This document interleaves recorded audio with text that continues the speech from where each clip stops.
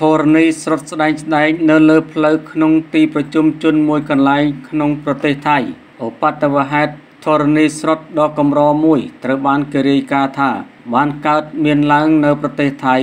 លើកំណាត់ផ្លូវក្នុងទីប្រជុំជនដ៏មមាញឹកមួយកន្លែង ក្រោមស្ពានរាមាទី4ក្នុងស្រុកបក្រិតខេត្តនន្ទបុរីសារព័ត៌មានថៃជាច្រើនមានដូចជា The Nation និង PBS World បានបញ្ជាក់ឲ្យដឹងថាឧបទ្ទវហេតុនេះ បានកើតឡើងកាលពីវេលាម៉ោង11:25នាទីព្រឹកថ្ងៃទី7ខែមេសាឆ្នាំ2024ដែលជំរុញឲ្យអាជ្ញាធរប្រកាសបិទផ្អាកចរាចរណ៍ទាំងស្រុង ដែលនាំឲ្យមានការកកស្ទះចរាចរណ៍យ៉ាងខ្លាំងការបិទផ្លូវធ្វើឡើងដើម្បីបង្ការគ្រោះថ្នាក់ផ្សេងៗនិងបើកការស៊ើបអង្កេតលើមូលហេតុតាមរយៈវីដេអូពីកាមេរ៉ាសុវត្ថិភាពបង្ហាញថាស្របពេលដែលមានយានយន្តជាច្រើនគ្រឿងកំពុងធ្វើដំណើរឆ្លងកាត់ ផ្លូវខាងលើខណៈមានបរិះម្នាក់ជិះម៉ូតូជាមួយកូនស្រី ហើយកំពុងថយម៉ូតូបកក្រោយ ស្រាប់តែផ្លូវនោះ បាក់ស្រុតចុះក្រោមនិងធ្លាយទឹកចេញមកមុនពេលបាក់ស្រុតមុនពេលបាក់ស្រុតតែប៉ុន្មានវិនាទីប៉ុណ្ណោះយុវជនម្នាក់ដែលដើរ ចុចទូរស័ព្ទគឺទៅតែដើរផុតខណៈរថយន្តពណ៌សមួយគ្រឿងទៀតត្រូវបានផ្លូវបាក់ស្រុតក្បែរកង់ខាងមុខទាំងពីរក៏រយ៉ាថយក្រោយដោយសុវត្ថិភាពក្រោយឃើញឪពុកកូនដែលជិះម៉ូតូស្ថិតក្នុងកន្លែងបាក់ស្រុតមនុស្សម្នានៅក្បែរនោះក៏ប្រញាប់ប្រញាល់ទៅជួយដោយយកក្មេងស្រីមកដាក់នៅម្ខាង ហើយជួយទាញម៉ូតូឡើងលើចិញ្ចើមផ្លូវលោក ប៉ានុពងបានតាសៈសមាជិកក្រុមប្រឹក្សាក្រុង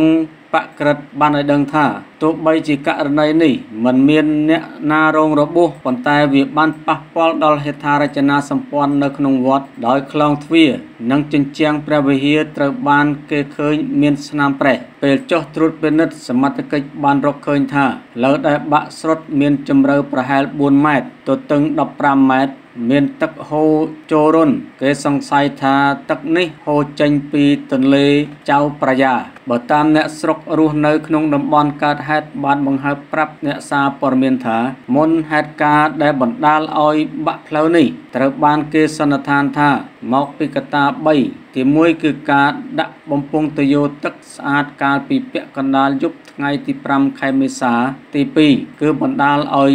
ដីដែលភាគច្រើនគឺជាដីខ្សាច់ និងទី3កត្តាទីតាំងព្រោះកើតហេតុស្ថិតនៅចម្ងាយប្រហែល100ម៉ែត្រពីទន្លេចៅប្រយ៉ាដែលអាចបណ្ដាលឲ្យទឹកពីទន្លេចៅប្រយ៉ាហូរច្រកបន្ថែមលើនេះ លោកវរៈស្នេតោ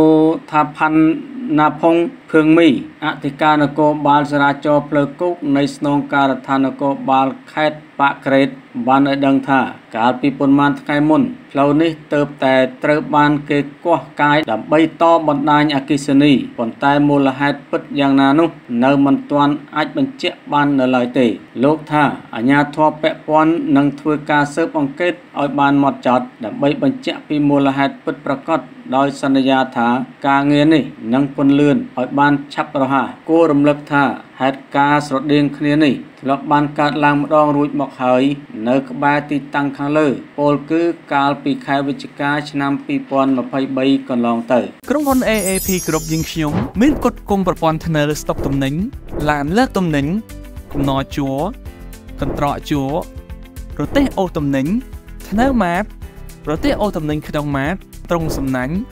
ជញ្ជីងថ្លើងរថយន្ត ចិញ្ចៀន Digital គ្រប់ប្រភេទរួមទាំងមានការធានាសេវាកម្មជួសជុលនិងថែទាំជាសកម្មគីឡូចិញ្ចៀនផងដែរដែលមានអាជ្ញាប័ណ្ណនិងមានការទទួលស្គាល់ពីមជ្ឈមណ្ឌលមេត្រាសាស្ត្រជាតិទទួលរើផ្លាស់ប្ដូរទីតាំងនិងដំឡើងចិញ្ចៀនរថយន្តព្រមទាំងមានជំនាញរៀបចំឃ្លាំងស្តុកទំនិញឲ្យមានរបៀបរៀបរយស្អាតនិងត្រឹមត្រូវតាមស្តង់ដារដែលមានបទពិសោធន៍ជាង20ឆ្នាំបញ្ជាក្រុមហ៊ុនយើងខ្ញុំមានសេវាកម្មប្រឹក្សាយោបល់និងមានបុគ្គលិកជំនាញចុះទៅវាស់វែងដល់ទីតាំងអតិថិជននិងគូប្លង់បានច្បាស់លាស់ជូនអតិថិជនដោយមិនគិតថ្លៃថែមទៀតផងសម្រាប់ព័ត៌មានបន្ថែមសូមទំនាក់ទំនងមកកាន់លេខទូរស័ព្ទដែលមានខាងក្នុងវីដេអូសូមអរគុណ